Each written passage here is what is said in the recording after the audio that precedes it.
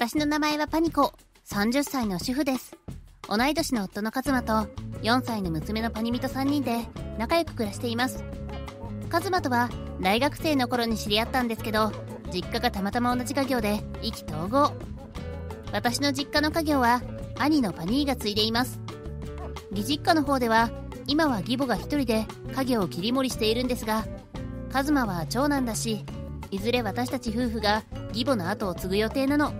まだパニミが幼稚園生だから、あと何年か経ってから本格的に引き継いでもらうって義母にも言われているんで、最近はごくたまに手伝いに行く程度なんですけどね。義母は他の従業員にかなり恐れられていて、仕事にはめちゃくちゃ厳しい人。でもそんな義母は私の働きぶりを見て私を認めてくれたんです。今では大の仲良しで、お互いに良き理解者として良好な関係を築けています。この間、義母のもとへ仕事の手伝いに行った時も、パニコさん、そろそろパニミの幼稚園にお迎えに行く時間だろ？もう上がってもいいよ。え、でも、まだ2時間もあるし大丈夫です。お手伝いします。あら、そうかい？パニコさんには本当に助けられてばかり。いつもありがとう。と、義母はにっこり微笑んでくれました。夫とも娘とも義母とも仲良しの私はこれ以上ないってくらい充実した毎日を過ごしていました。そんなある日のこと自宅で一人でいる時インターホンが鳴りました。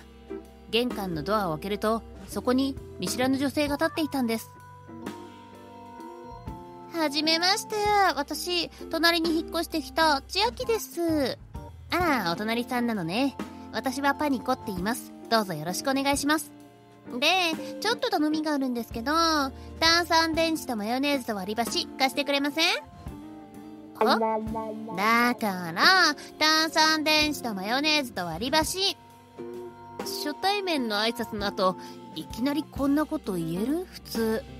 この千秋と名乗る人から、そこはかとなく漂うヤバいやつの匂い。一つでも渡したら最後、面倒なことが起こる予感がする。私はとっさに作り笑いを浮かべて、あご、ごめんなさい。全部切らしてて。と言って回避しました。そうなの？隣人使えないな。ま、買ってくるか。はい。この一言でもうドキュン決定。やばいやつ来たと思いました。そう、まさにこの千秋、ドキュンな隣人だったのです。その週の土曜日、私とカズマ、パニミの3人で買い物に出かけました。夕方マンションの駐車場に戻り車から降りると千秋が男性と歩いてくるのが見えました。あーパニコさん。直人こちら隣人のパニコさんよ。はじめまして。千秋の夫の直人と申します。わ旦那さんは信じられないくらいちゃんとしてる。ああよろしくお願いいたします。私がそう言って間もなく千秋が車から降りてきたカズマを見て目をパチクリさせましたそりゃそうですよ。うちの旦那様、超イケメンだもん。カズマは学生時代からモテモテ。私という恋人がいると知りながら、カズマにアピールしてくる女性も過去に何人かいました。おそらく千秋もその類の女なんだろうね。だから隣に自分の旦那がいながらカズマに見とれてるんでしょう。翌日から千秋はカズマの後をこそこそつけ回すようになりました。すぐに職場もバレ、やがて退勤時に待ち伏せるようになりました。カズマが付きまとうなと何度言っても全く話が通じないんですって。私も千秋に直接注意したのですが、全く聞く耳を持たないし、直人に言おうにも連絡先を知らないし、おまけに抗議しようとお隣へ行くと、必ず千秋が玄関に出てきて、直人とは話せません。そんなある日曜日、私とパニミが買い物に出かけていて、カズマは留守番していました。私がただいまーと玄関のドアを開けた次の瞬間。やめてくださいカズマの叫び声がリビングの方から聞こえてきたんです。リビングに入ると、カズマと千秋がファイティングポーズをし、向かい合っていました。家の中はぐちゃぐちゃに散らかっています。え、ちょ、何してるの？私の姿を見た千秋はいきなりこう言いました。なんでカズマさんの相手がパニコさんみたいなチンチクリン女なの？カズマさん私にこそふさわしいんだから。私とここに住むの。は？この人急にうちを訪ねてきてと思ったら俺を押しのけて無理やり家の中に入ってきたんだよ。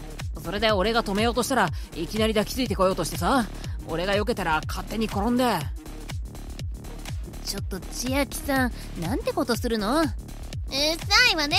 カズマさん私のものよ。あんたなんか私が追い出してやるんだからもう拉致が開かないと思った私は急いでお隣に直人さんを呼びに行きました。とりあえず玄関先に出てきた直人さんに簡単に状況を説明。すると直人さんは慌てて家に来てくれました。ところが千秋さんもういい加減にして。いくらカズマに一目惚れしたからって既婚者のあなたがこんなことするの許されないわ。そうだぞ千秋お前何考えてんだ。直人さんにも説明したからもうこんなことはは何言ってるのパニコさん。え？私がカズマさんに一目惚れ？自分の旦那さんがかっこよく見えるのはわかるけどおのろけもいい加減にしてください。ちょさっきまでと言ってること全然違う。私カズマさんが掃除手伝ってくれって言うから手伝ってただけだし。えじゃお前そんなわけパニコさんが全然掃除しないから家の中がめちゃくちゃで足の踏み場もないって。カズマさんが私に泣きついてきたから助けてやっただけだもん。じゃ違うだろあー疲れた。ナオト私ちょっと寝るね。あおいちょっと千秋？そう言って千秋はあくびしながら自分の家へ帰ってしまったのです。なんという二重人格こんなお隣さんとこの先ずっと隣同士？それだけは絶対に嫌。どうにかしなくちゃと思いました。ひとまず直人さんと LINE を交換したのですがその夜知らない LINE アカウントから電話がかかってきたんです。もしもし？あパニコさん。げ千秋さん。私はここで慌てて会話を録音し始めましたナオトがお風呂に入ってる隙にナオトのスマホを見たらパニコさんの LINE が登録されてたんで電話しました。ああな何のよあなたのせいで私あの後ナオトに超怒られたから文句言ってやりたかったの。あと私がカズマさんと結婚するので私のカズマさんへのこの気持ちナオトには秘密にしておいて。は？ナオトと今別れたら私生活できなくなっちゃうのよ。お金ないし。つまりナオトさんはカズマを略奪するまでのつなぎってことです？まあそんなだからね。女ならこの気持ちわかるでしょ？絵画からは誰にも止められないの。いやーわかんない。とりあえずもう切ります。私は電話をガチャ切りしました警察に住居侵入の罪で千秋を突き出す前に録音データを直人に LINE で送信しようと思ったその時でした。私のところに慌てた様子でカズマがやってきたんです。パニコ今本名でやってる仕事用の SNS に千秋さんからメッセージが来た。えなんて書いてあったの？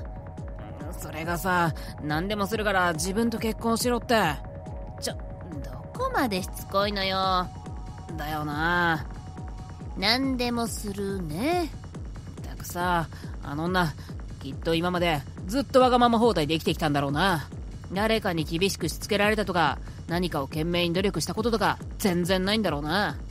そうよね。厳しい世界を見たことない。あそうだ。いいこと思いついた。心底呆れた私だったんですがこの瞬間ひらめいちゃったんですよね。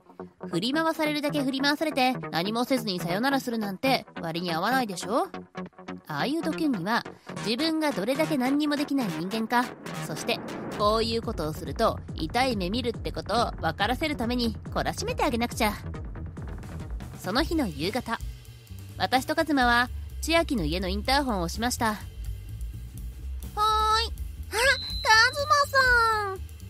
千秋さんあなたを連れて行きたい場所があるんだ。カズマの突然の言葉に千秋は大喜び。直人さんは仕事でいないのは分かっていました。カズマさんようやく私と結婚する決意を固めたのね。そうやね。パニコさんより私の方がよっぽど女としての魅力が上よね。何勘違いしてんのよ。あんたと私どっちがカズマの妻にふさわしいか。これから勝負してもらうのよ。は？あ 誰がどう見たって私に決まってるんだから。勝負なんてしなくても。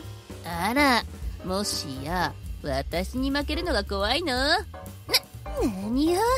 面白いじゃないの。やってやろうじゃない。その代わり私の方が勝ったらカズマさんの妻の座はもらうわよ。ええやれるもんならやってみなさい。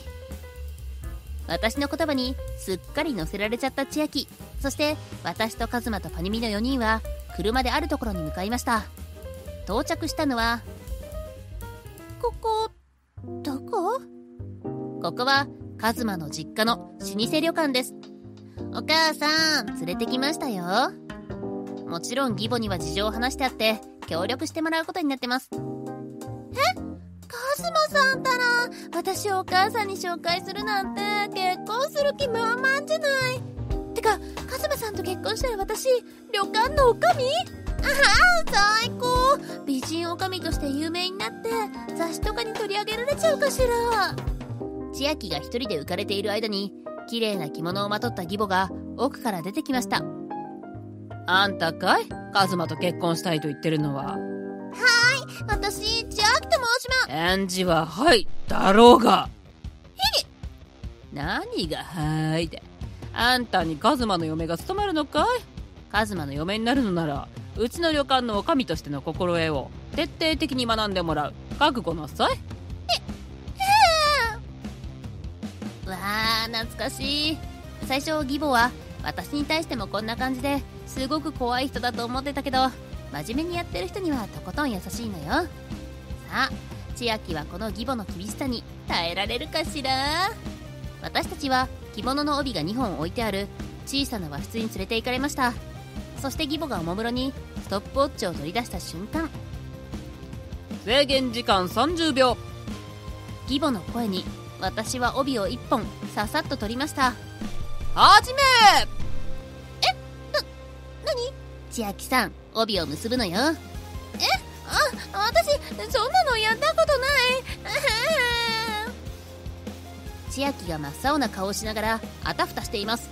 一方この手のことは小さい頃からゲーム感覚でやっていた私。だってうちの実家も旅館業だもん。そういえばこれカズマと婚約して最初に義母にやらされたことでもあったわね。簡単簡単。やめい！そこまで！千秋の帯を確認した義母はなんだいその結び方は。だってやったことない。千秋さん私が教えてあげる。えーとこうやって。はい。この結び方が二重太鼓結び。でこっちが銀座結びでこうすると角出し結びね。ち知らないわよそんなの。あれ美人女将になって雑誌に取り上げられるんじゃなかった？カズマと結婚するためなら何でもするんでしょ？次ザレ。まだあんの？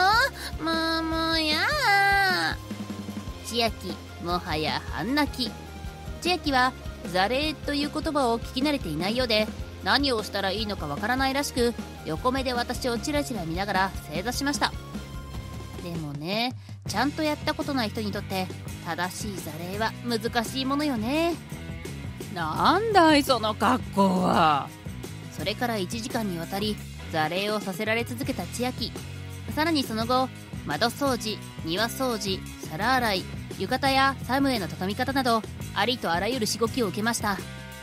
もちろん私は小さな頃からやってることですからちょちょいのちょいっと余裕のよっちゃん。さて次は正座で生け花のお稽古ってところで千秋はギブ。むもう無理ですむ無理。こんなの毎日とか無理。カズマさんは諦めます。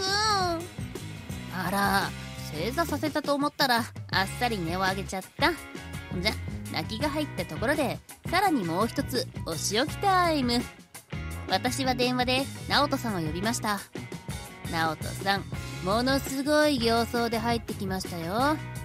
あの時の千秋の音声データと千秋がカズマの SNS に送ったメッセージのスクショを確認したんだもん。そりゃ怒るよね。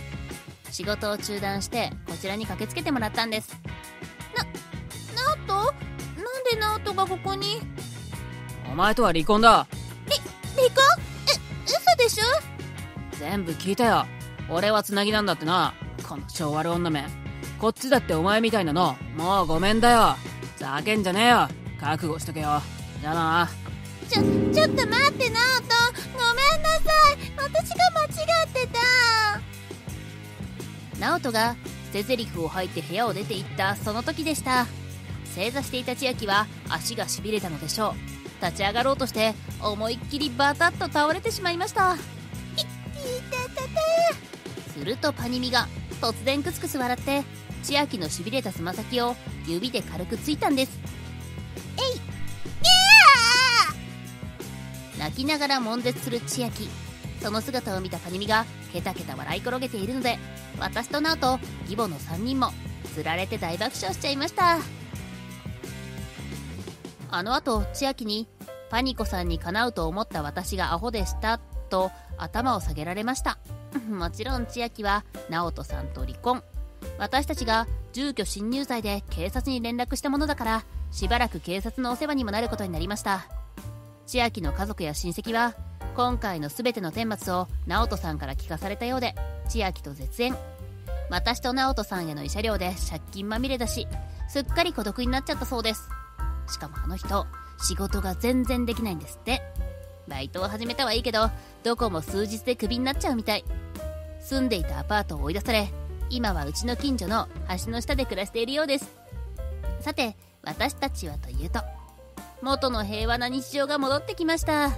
そうそうこの間あの時協力してくれた義母を家に招いてお礼にご飯をご馳走したんです。はーい豚肉の豆板焼きできました。どうぞ召し上がれ。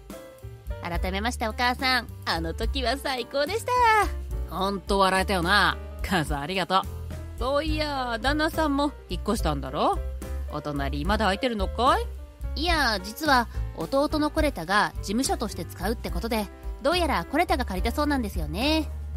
コレタおじちゃんね。パニミに英語教えてくれたんだ。Unbelievable! It's showtime! おーパニミ発音上手だな。あでコレタくん何の事務所として使うの？それがね食品ロスをなくそうみたいなボランティア活動の事務所みたいでどうやらパニミの幼稚園とタッグを組んで本格的に食品ロスのない食育に取り組んでいくんだってさ。あらいいね。うちの旅館も協力させてもらおうかしら。パニミね代表に就任したよ。え嘘。マジ？これから楽しくなりそうね。いしし